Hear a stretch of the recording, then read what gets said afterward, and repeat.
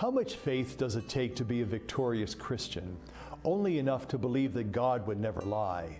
A well known theologian once defined faith as the ultimate risk. That's being willing to follow God anywhere He leads, even though you don't perceive in advance where you're being led. Down through the ages of biblical history, we see this pattern over and over again where people of faith are called to trust God with no evidence of the future. Noah, for example, was called to build an ark in preparation for a flood. He was ridiculed and mocked for his apparent folly. Abraham was called to leave the grandeur of Ur of the Chaldeans and a position of respect among his fellow citizens, only to become a wandering nomad.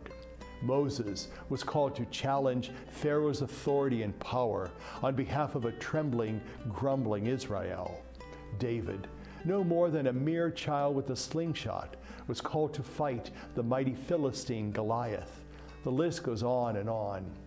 Have you ever wondered where we would be if Joseph had not trusted God?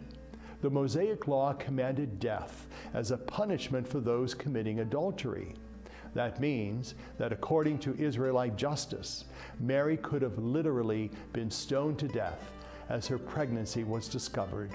And through that death, the child conceived in her womb would never have been born.